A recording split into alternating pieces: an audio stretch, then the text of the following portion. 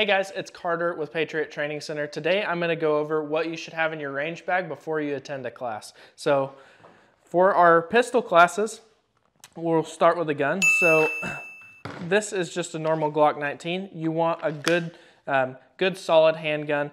We don't recommend running like the small subcompacts. You want something that's gonna fit your hand, um, that has uh, decent capacity. Whatever you're gonna be carrying with, um, we definitely recommend you try and carry the biggest gun that you can comfortably carry because it will make your life a lot easier out on the range and you should be able to shoot it better. So this is specific one is a Glock 19, um, but any double stack handgun uh, that, that is reliable should work.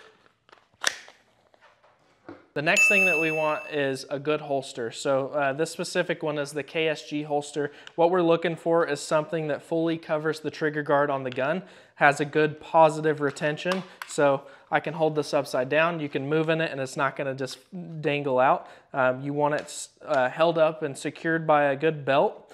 And uh, you also want to be able to get a good grip on the pistol when you're going to draw. So you want to be able to get a good firing grip on the pistol um, and that will make your life a lot easier during the class. So holsters um, come in all different shapes and sizes. There's a trillion of them out there. Um, we do not recommend any nylon holsters or um, like the Serpa holsters. We've seen bad things happen with those. So we really want just a good uh, solid Kydex um, holster.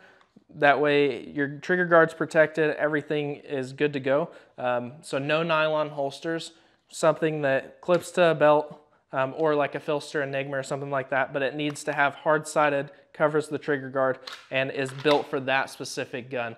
So it's molded to the specific gun that you're carrying. Universal holsters, a lot of times um, they'll have one size fits all, but it doesn't fit any of them correctly. So you want a specific uh, holster molded to your gun. The next thing is magazine holders and magazines. So for this course, we recommend uh, at least having three magazines, especially if you're carrying um, something that has 10 rounds or less.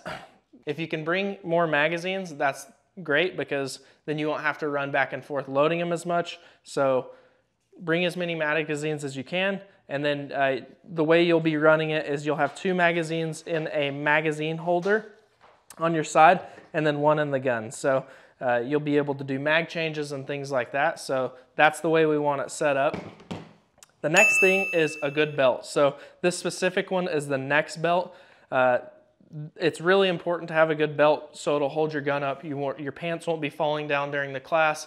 And it's good to just have these when you're concealed carrying anyways. So uh, this is a huge deal. A lot of people, when they start carrying, uh, they think that their holster isn't comfortable, but really it could all be solved by them having a good belt. So definitely want one of these in class.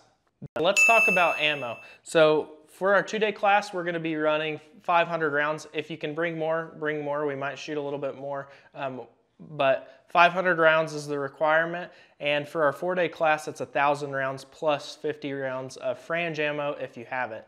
Uh, you'll want to bring 10 rounds of your carry ammo that you're carrying with that we'll use to confirm things. Okay, so let's talk about clothing. What should I wear to the class?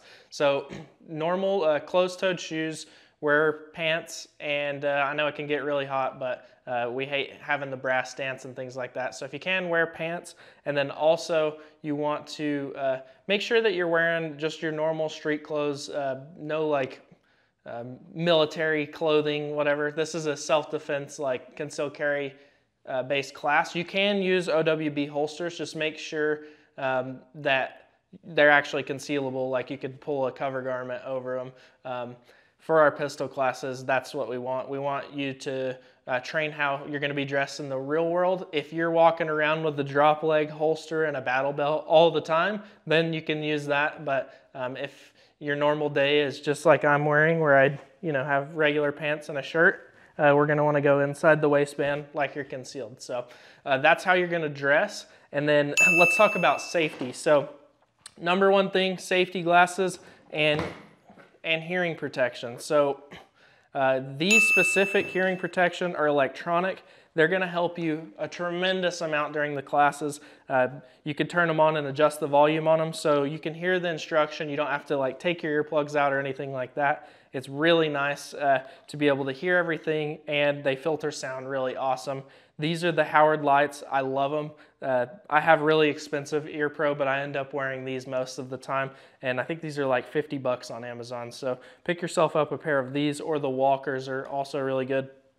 And then uh, just a normal set of uh, safety glasses. So uh, when we're shooting, things can maybe come back at us, especially if we're shooting at steel and things like that. So make sure that you have a good set of safety glasses or prescription glasses. Um, I'm okay if you wear sunglasses too. That's what I'll be wearing out on the range. Just uh, choose your lens carefully and make sure that they're actually gonna protect your eyes. Along with when you're wearing your pants and your shirt and your closed-toed shoes, make sure you bring a ball cap out there. It'll be nice to keep the sun out of your eyes. So let's talk about the actual training day. Um, so class starts promptly at 8 o'clock. So be here at 7.45 because you're going to have to do some paperwork and things like that. Make sure that you're here on time so you don't have to wait. And if you miss the safety briefing, um, which is I think 8.45, then you're not able to actually conduct on the hot range. So super important. Make sure that you're here on time and uh, you can get the most out of the course that way. So here at Patriot Training Center, we conduct a hot range. So uh, make sure if you're gonna bring a gun into the classroom that you're already wearing it like you're concealed carrying. I don't mind if you conceal carry in here. That's what we teach. So I'm fine if you have guns in here. Just make sure that you're not pulling them out and playing with them in the parking lot, getting them all uh, messed with up there. We conduct a hot range, so have them loaded up. Um, and then once we go out to the range, we'll get you loaded up with your training ammo. Just don't be fumbling with guns and messing unless you're on the firing line with us, uh, directing you what to do. Uh, no guns out in the parking lot. Come into the classroom with it holstered if you can still carry, or in your vehicle unloaded um, or loaded. Just don't mess with it um, in the parking lot. So let's talk about what you need to bring to the rifle class. The first thing, obviously, is the gun. So this specific gun is an AR-15. Uh, any magazine-fed fighting rifle is good, um, semi-automatic. The way you should set it up should be the same either way. I'm okay. We're totally happy if you bring just an iron-sided gun. Uh, that works great. I like to run optics. If you are gonna run optics, you want to have a backup sight. Either backup irons or like a backup red dot or something like this one has. Um, the next thing that you're gonna want is a sling. So we're gonna be doing ready up drills and you're gonna be moving with the rifle, so you need a good sling um, to hold it close to your body and that you'll be able to work with. The next thing that you're gonna wanna make sure you bring is extra magazines. So we require three magazines for the gun. Um, having two extra ones is really nice to keep on you. Uh, if you can't just, you could carry one on you or one in your back pocket, uh, but having a magazine holster or magazine holder is really nice. Uh, you can run like a battle belt like this setup right here and have your uh, magazines go down uh, on your side.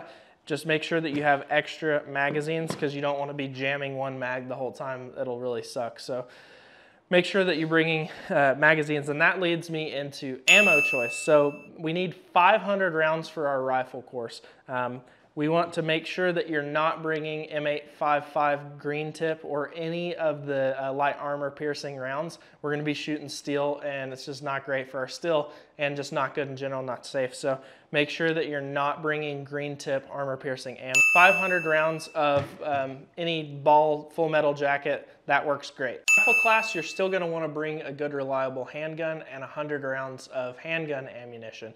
Um, you're gonna want to probably run this in the OWB configuration uh, outside the waistband.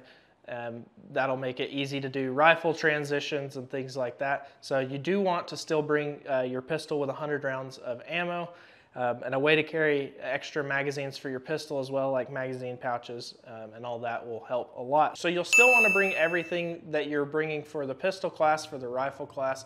Uh, make sure that you have all the safety gear. You have uh, ear protection, you have eye protection, you have holsters, Another recommendation I have is maybe if it's not too hot, wear a long sleeve shirt. We're gonna be shooting down in the prone and getting in kneeling positions and things like that. So if you don't want your arms to get scuffed up and dirty, maybe uh, wear a long sleeve shirt as well. If you want to bring a shooting mat for that, you're also more than welcome to do that. Uh, that way you can stay off the dirt if you're worried about that. The, the last thing that you'll need to bring is a sight tool for the rifle that you're using. If you're using a optic, you want to be, make sure that you're going to be able to uh, make the adjustments when we go to zero the optic. Or if you're using iron sights, bring a front sight adjustment tool. Um, like if you're using an AK, bring an AK adjustment tool and then also an AR. Okay, so let's talk about what you need to bring to the shotgun class. So obviously first is the gun. Uh, this one right here is an 870, but you're gonna want something um, reliable like a pump shotgun, uh, like an 870, a Remington 870, or like a Mossberg, something reliable. That way you're not having to like clear jams all weekend um, and you can get the most out of your time. You can use a pump shotgun just fine. You can also use a semi-auto gun like a Benelli um, or Beretta, um, just something reliable. And uh, the way you want to have it set up is have a side saddle that you can carry extra ammo. So this is on the side of the receiver. You can also use the butt stock ones as well that hold extra shells. This, these are nice because they're Velcro, so you can load a bunch of these up and just pop them straight onto the receiver like this, and you won't have to spend a bunch of time putting shells in there. So that's really nice. Uh, as far as the safety gear, it's going to be the same as the pistol class. You're going to have uh, ear protection and eye protection, super important. And uh, also, you're going to want to bring all the other stuff for the pistol class. Um, if you want, you can bring a handgun with 100 rounds of handgun ammo. We might, uh, we might shoot it, you might not shoot it, but just to be safe, you can bring your handgun as well. Um, and as far as the round count goes for the shotgun, you're gonna want 300 rounds of birdshot, and then 50 rounds of buckshot, and then 20 rounds of slugs. So I'm excited to see you guys out here. I can't wait to train with you.